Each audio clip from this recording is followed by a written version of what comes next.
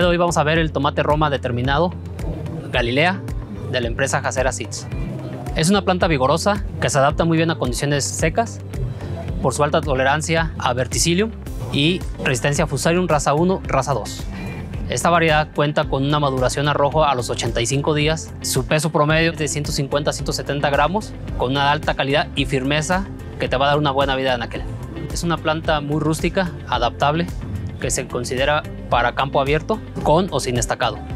Es una variedad que por su color rojo intenso de su alargada fruta es considerada para unos 5 o 6 cortes dentro de su periodo a cosechar.